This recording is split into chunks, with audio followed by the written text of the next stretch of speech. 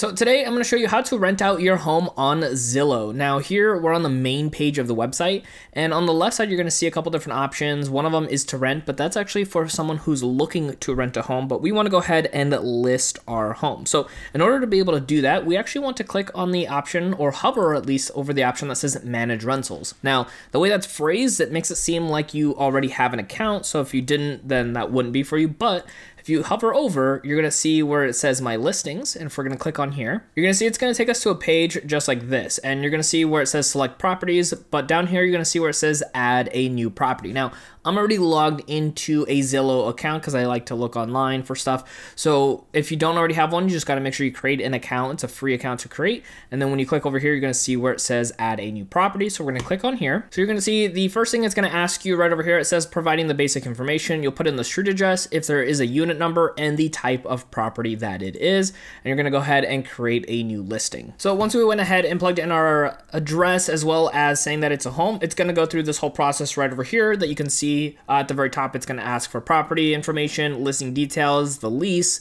any kind of media, amenities, contact information, your review, and then you can finally go ahead and publish. Now, so from right over here, there is a spot at the very bottom of the screen here that actually says get started. Let me see if I can actually just scroll down down to that which I can't. So if we click on get started, you're going to see where it's going to go ahead and start asking you some information.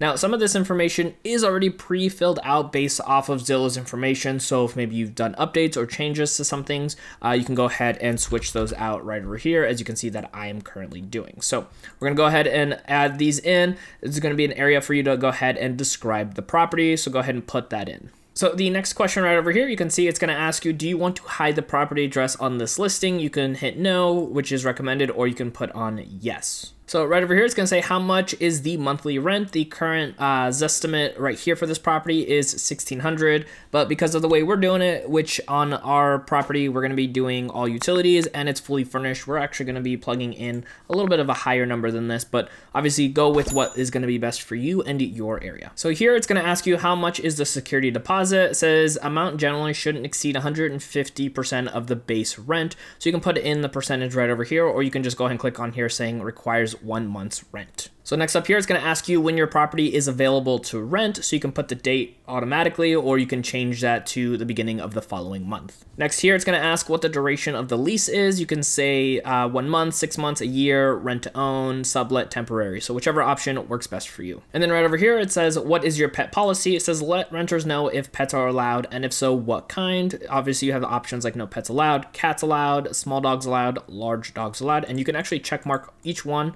that actually works for you when it's with the different animals. So right over here, it's going to ask you what should renters know about the lease terms. It says share the details that can be a deal breaker or deal maker for renters. Be upfront about the fees and utility costs. Also include your pet smoking and parking policies. So next up here is going to be adding photos. So make sure you take some really great photos of the property to be able to upload right over here. So here on the next step, it's going to ask which amenities does your property have. So just make sure you check off all that apply, and then you can also add a few more here at the bottom if you'd like. So next up here, it's going to ask where the laundry room is located. So you can obviously choose the option that works best. So next up here, it's going to say who's listing this property for rent. So you can choose the option that works best, put in the name and the email address. So from here, it's going to ask for your phone number. So go ahead and add that. So here it's going to ask, do you want to allow renters to contact you by phone?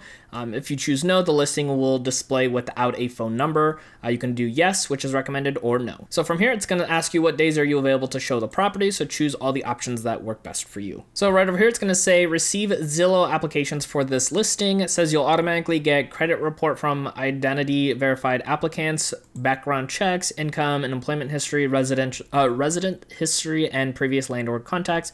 You can do yes or you can do no on this option. So once you get to this point right over here, this is reviewing everything, making sure that we are looking good with all the details. You can choose to push these down over here so that way you can just double check all the information. You can click on the edit button if you want to go through essentially the whole process all over again. And if everything looks good, there is going to be a publish button on the bottom right hand side that you can go ahead and click on. And now our listing is getting ready to post, so we will be able to start getting inquiries about the property. Now, if you're somebody who's also looking for other ways to start listing your property to make some money, I want you to check check out my video right over here to learn how to list your property on Airbnb. My name is Dennis, and I will help you in that next video.